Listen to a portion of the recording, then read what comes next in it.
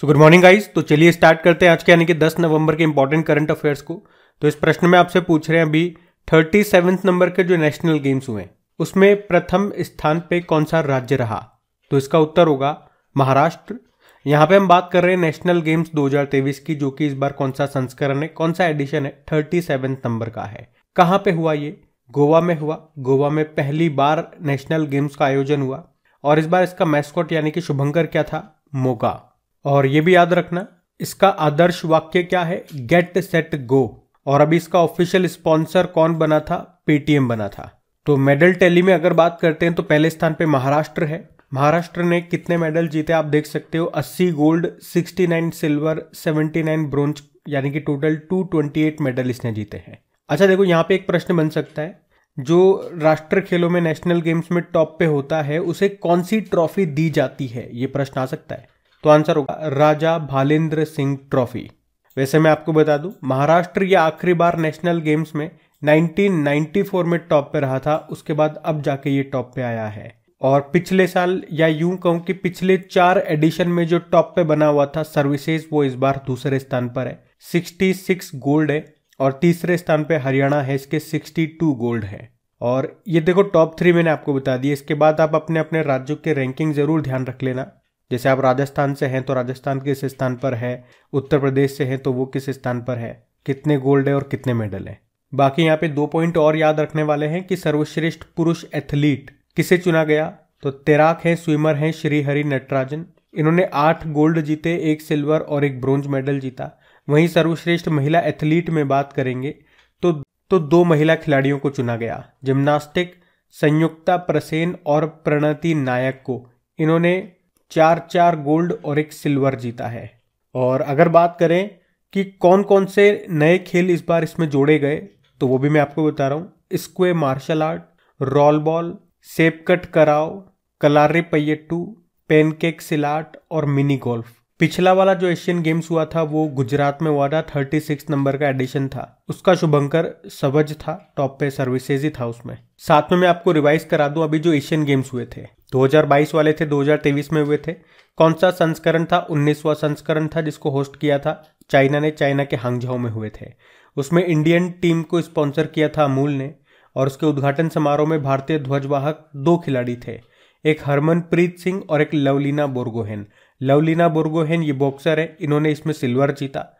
हरमनप्रीत सिंह की बात करेंगे मेन्स हॉकी टीम के कप्तान है। वहीं समापन समारोह में ध्वजवाहक flag bearer P R Sreejesh है, जो कि मेन्स हॉकी टीम के गोलकीपर है। बाकी मैं आपको यहाँ पे टीम इवेंट ज़रूर बताऊँगा कि भारत में, कि भारत ने टीम इवेंट में किस किसमें गोल्ड जीता है। तो देखो हॉकी की बात करते हैं। इसमें मेन्स हॉकी टीम इसने गोल्ड जीता है, जबकि वुमेन्स हॉकी टीम ने ब्रोंज जीता। मतलब मैं यहाँ पे जो भी टीम बता रहा हूँ ना, उन्होंने गोल्ड जीता है। और किसको हराया? वो मैंने ब्रैकेट में यहाँ पे नाम लिख दिए हैं, जैसे कि मेन्स हॉकी टीम ने किसे हरा करके गोल्ड जीता तो आंसर होगा जापान को। वहीं क्रिकेट में अगर बात कर रहे हैं तो मेंस और वुमेन्स दोनों टीम ने गोल्ड जीता, लेकिन मेंस टीम ने हराया था अफ़गानिस्तान को और वुमेन्स टीम ने हराया था श्रीलंका को। कबड्डी वाला इंपॉर्टेंट है, इसमें मेंस और वुमेन्स दोनों ने जीता है गोल्ड मेंस वाली टीम ने ईरान को हराया और वुमेन्स वाली टीम ने चीनी ताइपे को हराया। उपविजेता चीनी ताइपे है। और ये पहली बार हुआ एशियन गेम्स के इतिहास में जब हमने सौ से ज़्यादा पदक जीते हैं। तो यहाँ पे दो तरह तरह के प्रश्न बन सकते हैं कि हमारा सोवा पदक ये किस टीम ने जीता या किसने जीता? तो वुमेन्स कबड्डी टीम ने जीता। या यूँ पूछ ले कि सोवा पदक हमारा कौन सा था? गोल्ड, सिल्वर या ब्रोंज? तो गोल्ड मेडल था। अच्छा कितने पदक आए हमारे पास? या भारत कौन से स्थान पर रहा मेडल टैली में? तो भारत चौथे स्थान पर है। 28 गोल्ड है 38 सिल्वर है और 41 ब्रॉन्ज है टोटल 107 मेडल है हमारे पास। चाइना टॉप पर है, फिर जापान, साउथ कोरिया और भारत है। और मैस्कॉट भी याद रखना, तीन मैस्कॉट है, Chenchen Congcong Lianlian. बाकी थोड़ा इतिहास भी आप ध्यान रखें पहले एशियन गेम्स 1951 में हुए थे ये नई दिल्ली में। भारत में दो बार हो चुके हैं 1951 1982 ये प्रश्न एग्ज़ाम में आ चुका है। लास्ट वाले 2018 वाले इंडोनेशिया में हुए थे, अभी चाइना में हुए, अगली बार 2026 में ये जापान में होंगे। तो यहाँ पे एशियन गेम्स भी मैंने आपको रिवाइज करा दिया और नेशनल गेम्स भी हमने देख लिया, इनको ध्यान रखना, बढ़ते आगे। फिर बताइए, अभी हाल ही में कृषि समाचार निगरानी के लिए लॉन्च किया गया भारत का पहला एआई समाधान का नाम क्या है? तो आंसर होगा कृषि ट्वेंटी फोर इंटू सेवन तो अभी कृषि और किसान कल्याण मंत्रालय ने कृषि समाचार निगरानी और विश्लेषण के लिए भारत का पहला ए आई यानी कि आर्टिफिशियल इंटेलिजेंस संचालित समाधान सॉल्यूशन एक कृषि 24 फोर इंटू सेवन को लॉन्च किया है और इसे किसने बनाया है? तो कृषि व किसान कल्याण विभाग और Wadhwani institute for A I Mumbai ने इसको डेवलप किया। ये क्या काम करेगा? तो ये जो आर्टिफिशियल इंटेलिजेंस है ये एग्रीकल्चर से संबंधित सारी न्यूज़ देने वाला है। जैसे इस भूमि के लिए कौन सी फ़सल उगानी सही है, इसमें क्या कमी है, इसमें क्या फ़ायदा है? मतलब ये सब कुछ बता देगा क्रॉप से संबंधित और किसानों के लिए ये कृषि की मॉनिटरिंग भी कर सकता है। तो ये आप ध्यान रखना। अब इस प्रश्न में आर्टिफिशियल इंटेलिजेंस से संबंधित 2023 में जितने भी प्रश्न आपने करंट अफेयर्स में पढ़े हैं, वो सारे मैं आपको रिवाइज कराने वाला हूँ।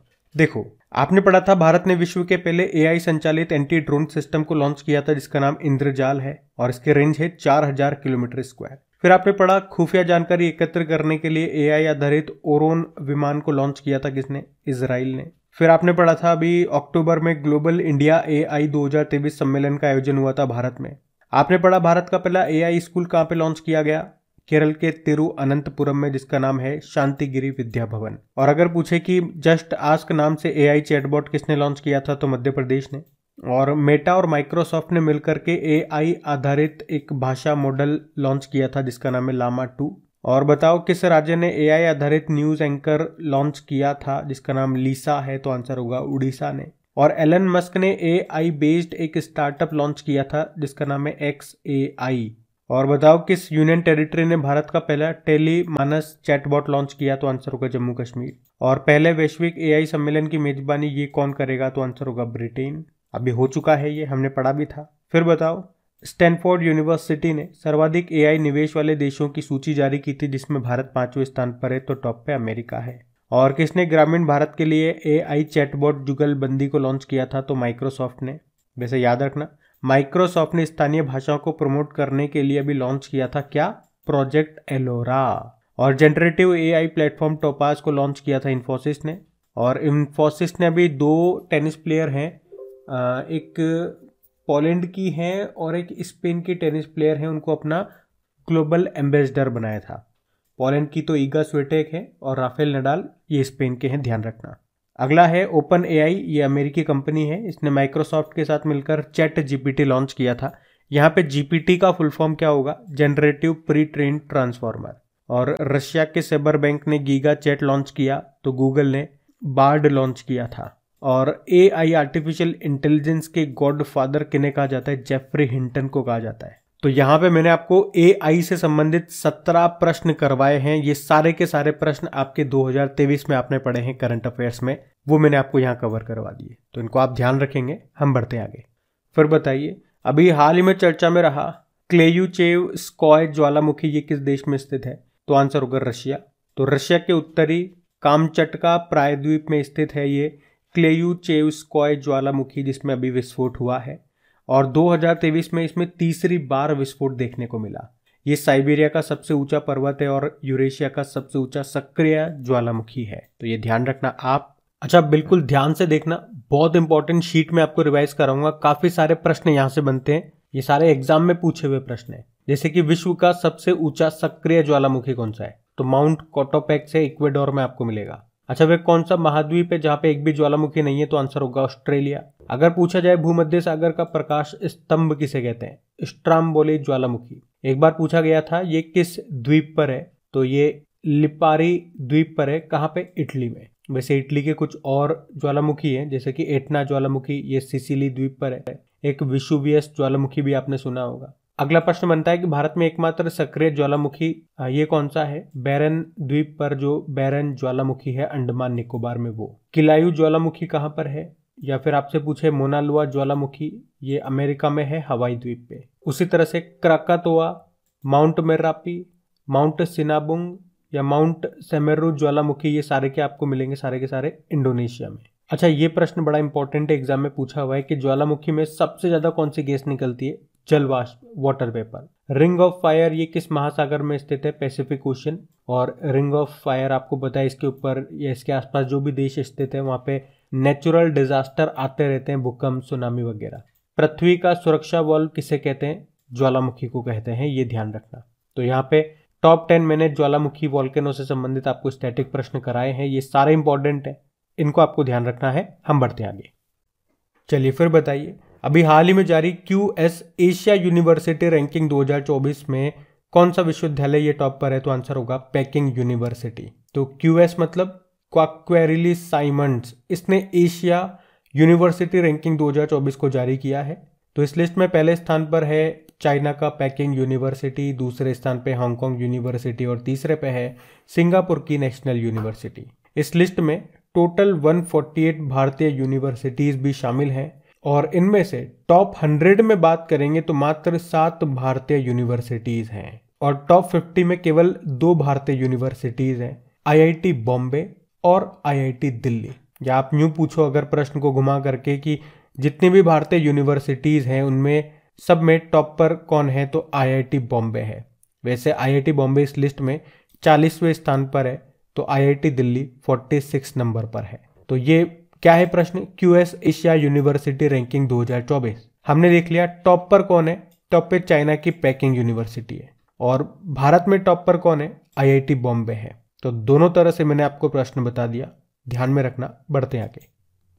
फिर बताइए, अभी हाल ही में association of mutual funds in India के नए सीईओ कौन बनेंगे? तो आंसर होगा वेंकट नागेश्वर चसलानी। तो association of mutual funds in India ने वेंकट नागेश्वर चसलानी को अपना नया सीईओ नियुक्त किया है। इससे पहले चसलानी एसबीआई में डिप्टी मैनेजिंग डायरेक्टर हुआ करते थे। तो यहाँ पे वो किनका स्थान लेंगे? एन एस वेंकटेश की जगह लेंगे। बाकी अभी बांग्लादेश के नए प्रेसिडेंट बने थे मोहम्मद शहाबुद्दीन। फिक्की के नए महासचिव सेक्रेटरी जनरल बने शैलेश पाठक और रेलवे सुरक्षा बल, रेलवे प्रोटेक्शन फोर्स के नए डायरेक्टर जनरल बने थे मनोज यादव। इनके नाम भी न्यूज़ में थे, ध्यान में रखना, बढ़ते आगे।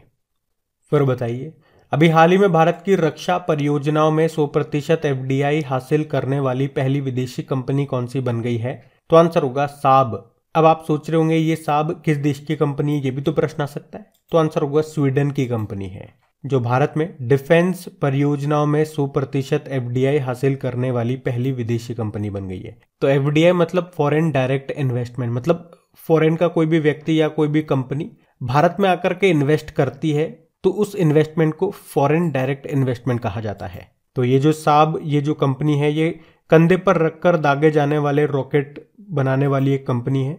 और ये हमारे देश में जो अपना मैन्युफैक्चरिंग प्लांट बनाएगी, वो ये हरियाणा में बना सकती है। तो याद रखना, भारत की रक्षा परियोजनाओं में सौ प्रतिशत एफ़ हासिल करने वाली पहली विदेशी कंपनी ये कौन सी बन गई है? तो आंसर होगा साब अच्छा कई बार हमने इससे संबंधित प्रश्न पढ़ा है, हर साल पढ़ते हैं। कि भारत में सबसे ज़्यादा FDI ये किस देश से आता है? ये हमेशा सेम रहता है। अगर आपको पता है तो बताइए, हम बढ़ते हैं आगे। फिर बताओ, अभी हाल ही में प्रलय बैलिस्टिक मिसाइल का सफल परीक्षण किया गया, ये किस प्रकार की मिसाइल है?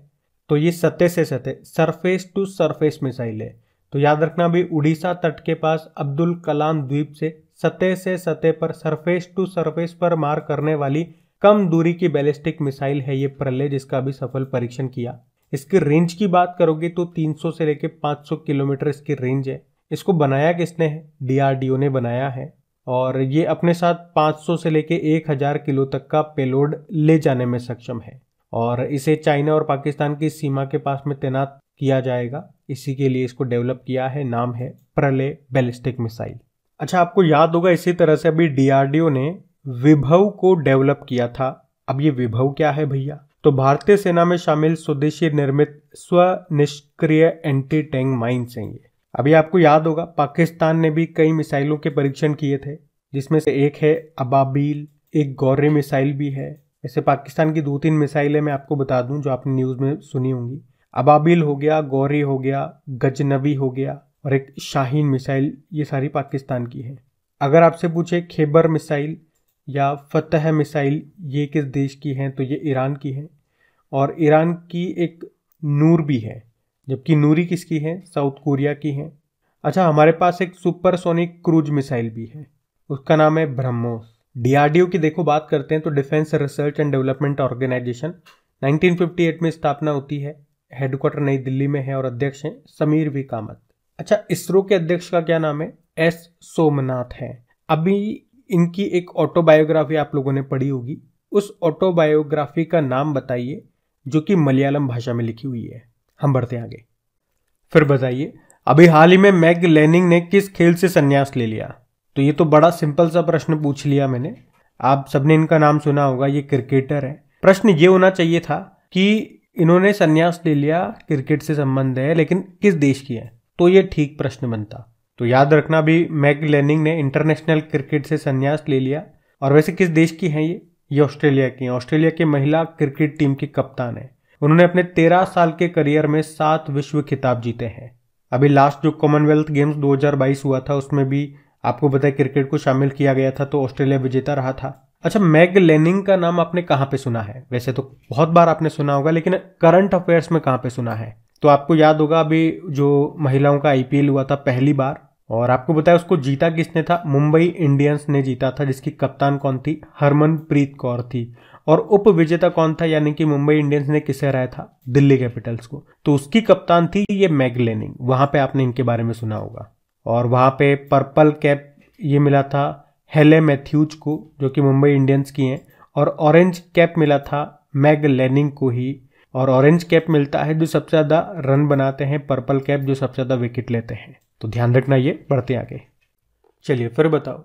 अभी राष्ट्रीय कानूनी सेवा दिवस नेशनल लीगल सर्विस डे ये कब मनाया गया? तो आंसर होगा 9 नवंबर को। तो सभी नागरिकों के लिए उचित और निष्पक्ष न्याय प्रक्रिया सुनिश्चित करने के लिए जागरूकता फैलाने के उद्देश्य से हर साल 9 नवंबर को नेशनल लीगल सर्विस डे के रूप में मनाया जाता है। इसकी शुरुआत सबसे पहले भारत के सर्वोच्च न्यायालय सुप्रीम कोर्ट ने की थी, कब? 1995 में। तो इस दिन को देश के नागरिकों को कानूनी सेवा प्राधिकरण अधिनियम के तहत विभिन्न प्रावधानों और वादियों के अधिकारों से अवगत कराने के लिए इस दिन को शुरू किया गया मनाना। वैसे मैं आपको बता दूँ, इस बार 9 नवंबर को हमने वर्ल्ड यूजेबिलिटी डे, विश्व उपयोगिता दिवस भी मनाया, जो नवंबर के दूसरे गुरुवार को मनाया जाता है।